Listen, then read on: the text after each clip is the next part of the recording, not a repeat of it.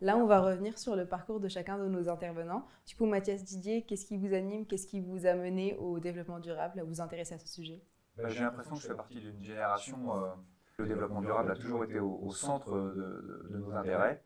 Euh, j'ai eu la chance de grandir à l'étranger, euh, notamment en Côte d'Ivoire pendant de très très longues années, puis à l'île de la Réunion où j'ai très tôt pris conscience des impacts et des enjeux environnementaux de notre société, et sociétaux d'ailleurs.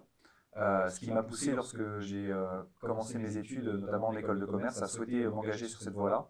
J'ai eu la chance de faire un stage euh, au niveau d'une chambre régionale de commerce et d'industrie, de travailler sur l'égalité homme-femme et la valorisation des acquis d'expérience, donc l'intégration sociétale de, personnes parfois en difficulté qui ont aussi à, se remettre d'aplomb.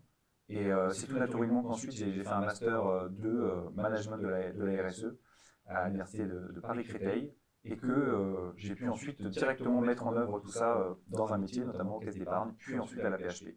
Donc je dirais que le développement durable a toujours fait partie de ma vie et de mon parcours professionnel, puisque je n'ai fait que ça. Et pourquoi vous vous intéressez au domaine de la santé? C'est quoi qui vous a mené aux, hôpitaux de Paris euh, Alors j'ai eu une première prise de conscience à la naissance de mon premier fils en 2014, où j'ai constaté un, certains enjeux euh, au niveau de, de, de la maternité. Euh, puis par ailleurs, euh, ensuite, j'ai été sollicité notamment par, par, la PHP pour travailler sur ces sujets-là. Et c'est avec bonheur que je me suis plongé dans, dans le domaine de la santé, que j'ai découvert justement tous ces enjeux environnementaux, sociétaux qui nous animent dans notre secteur.